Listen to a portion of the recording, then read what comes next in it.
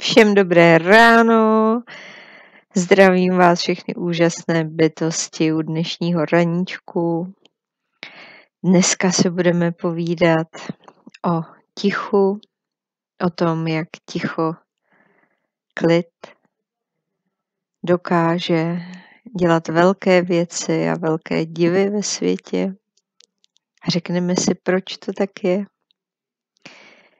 A řekneme si několik zajímavých příběhů. Když jste v klidu, tak koncentrujete energii, neplýtváte jí.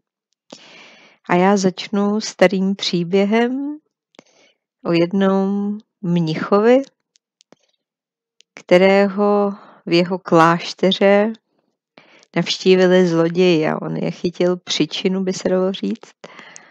A Zeptal se jich, co všechno by si chtěli odnést a pak jim to dal, protože moc dobře víte, že buddhisté nejsou připoutaní k věcem. A v tu chvíli se začaly dít velmi zvláštní věci. Nejenom, že zloději takovou vůbec reakci neočekávali, ale odešli, ty věci si vzali, ale hlodalo je to svědomí mnohem víc než obyčejně jindy. Když jsme v klidu, necháváme, aby karma sama dosáhla odrazu.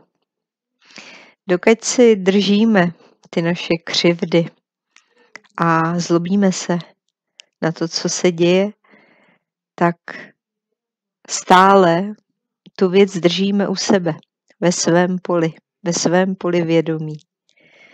Ve chvíli, kdy to pustíme, propustíme, necháme to být a zůstáváme dál klidní, v tu chvíli se to všechno může odrazit příčina může dosáhnout svého výsledku, důsledku.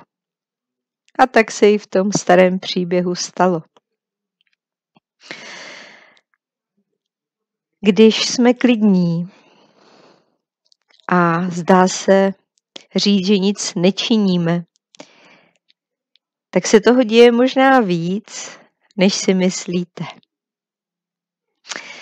A já budu pokračovat druhým příběhem, Tentokrát je to velmi starý příběh, pochází z Indie a je úžasný v tom,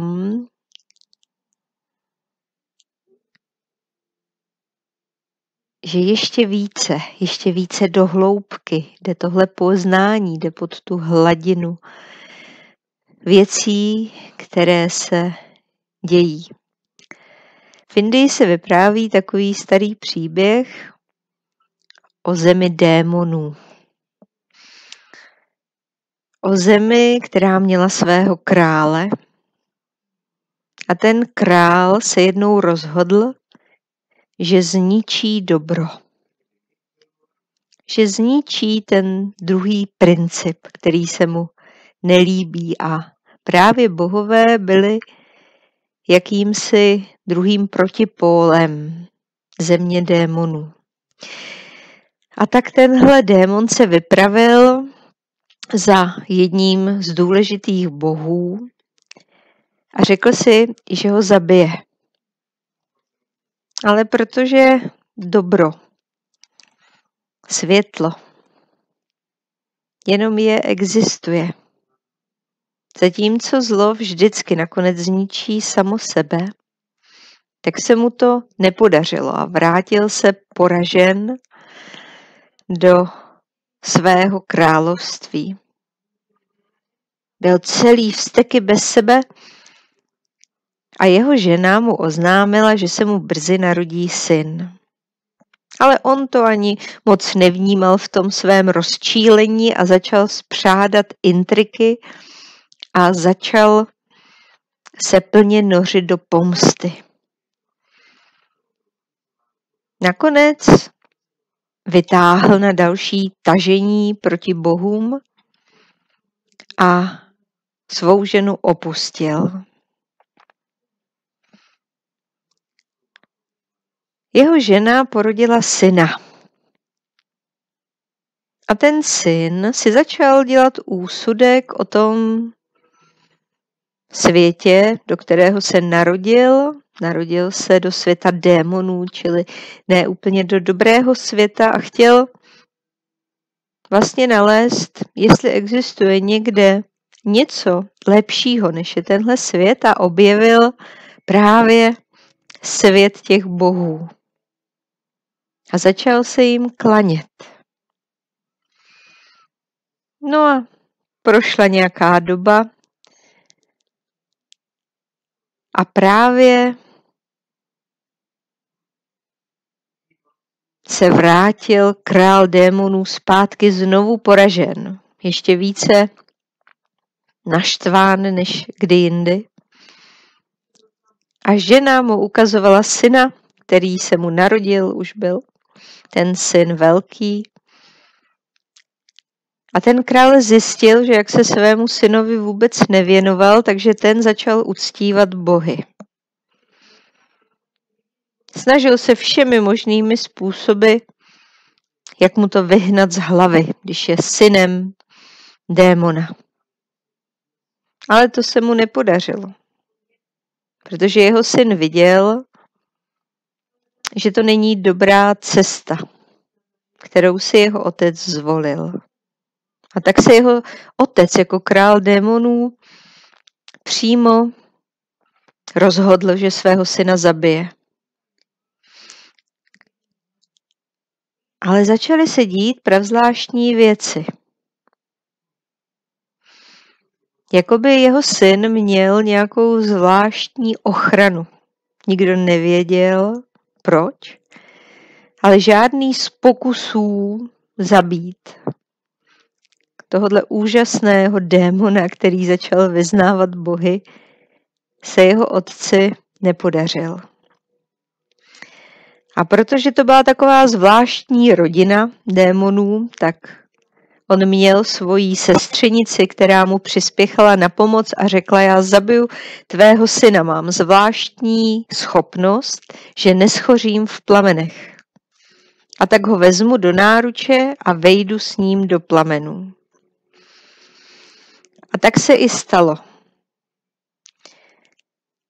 Ale nikdo nechápal, že syn nehnul ani brvou a ve chvíli, kdy démonka s ním stoupila do plamenů, tak splála, zatímco synovi se vůbec nic nestalo. A tenhle příběh nám něco říká o podstatě nás všech. O tom, že v každém z nás, i v tom démonovi, je někde v hloubi ta jiskra toho vědomí, toho čistého, neměnícího se, ale obrovsky silného ducha. A ať se děje, co se děje kolem nás, tak my bychom se vždycky měli uchylovat do klidu a ticha, protože je nejmocnější silou.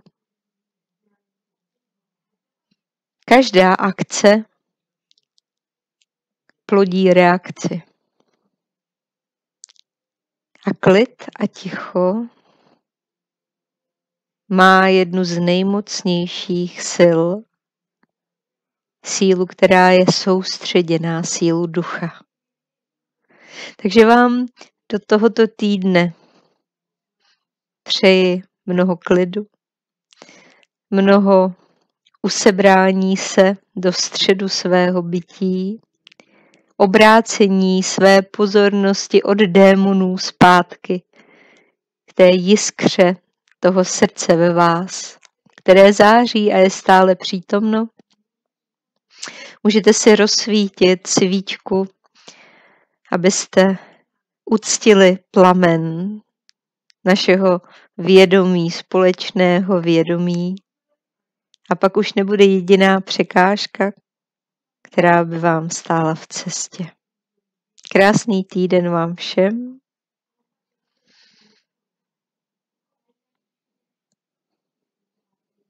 A mějte se a smějte se.